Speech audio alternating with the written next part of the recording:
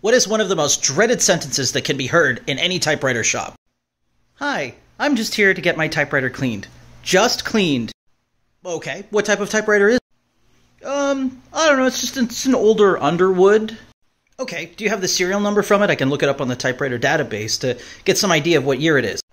No, how would I find the serial number? I'm just bringing it to you because I don't dare take it apart. I'm afraid that I'll break it.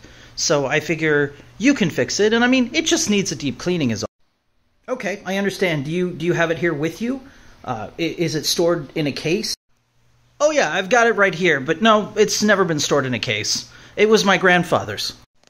Ah, okay. Well, let me take a look at it real quick, and I can get you a timeline and cost for the cleaning.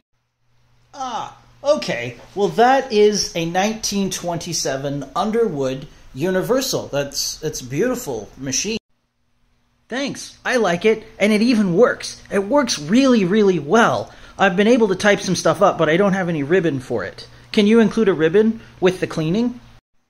Sure, I can install a ribbon. That's no problem. They usually run about 15 bucks uh, for a new ribbon, and I'm sure that I have one here that can do that. So if you'll just drop this off with me, uh, it'll probably take me a day or two, and then um, it'll give me a chance to get into it. And if it ultimately needs any repairs, um, you know, common things that go bad when something is 100 years old, um, I will let you know. And um, usually cleanings, uh, you're looking anywhere between one to two hundred dollars. How much? Why can't you just do it while I wait? I mean, it just needs a cleaning. Like it's not that big of a deal. Like you just you just clean it, right? And one to two hundred dollars. Why would it cost that much money? That's a reasonable question because the machine has to be disassembled and taken apart. And the odor that you're smelling is felt that is inside the machine uh, that has mildewed or molded, so that would need to be uh, removed and replaced. Also, uh, there's lots of intricate moving parts, and often in a machine that is 100 years old, things like the drawband, which are made of cloth and have been under tension uh, for the last 100 years.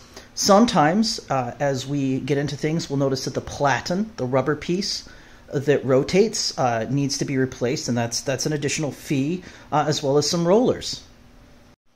So the process of cleaning involves disassembling the machine and cleaning using an industrial degreaser that's paint safe and ensuring that uh, rust is removed and an anti-corrosive layer is put on it and that all these intricate moving pieces are cleaned. Then a 20 gallon air compressor is used and the machine is reassembled